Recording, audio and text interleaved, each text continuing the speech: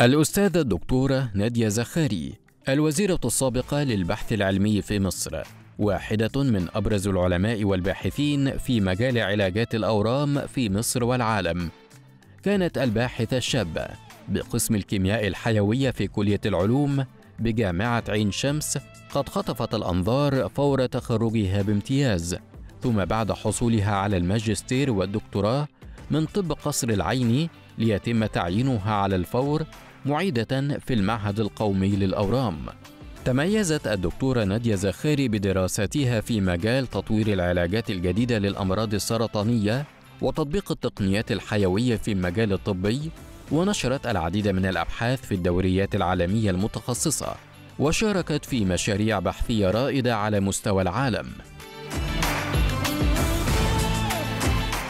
أختيرت الدكتورة زخاري لعضوية المجلس القومي للمرأة ورئاسة اللجنة الوطنية للمرأة في العلوم والمشاركة في مجلس العلوم الدولي كعضو في لجنته التأسيسية.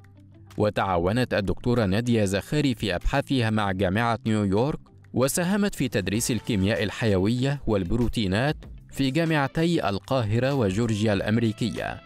وشاركت في العديد من المجالس واللجان العلمية ومنها أكاديمية نيويورك للعلوم وأكاديمية البحث العلمي والتكنولوجيا المصرية. أشرفت الدكتورة زخاري على نحو 60 رسالة ماجستير ودكتوراه ونشرت 67 ورقة بحثية حول العوامل المسببة للسرطان وعلامات الأورام.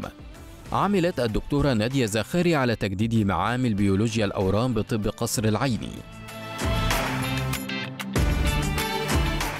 كما اهتمت بتعزيز التعاون بين الجامعات والمؤسسات البحثية محليا ودوليا لرفع مستوى الأبحاث العلمية في مصر وتبنت مبادرات لدعم الباحثين والمبتكرين ونشر الثقافة العلمية بين الشباب.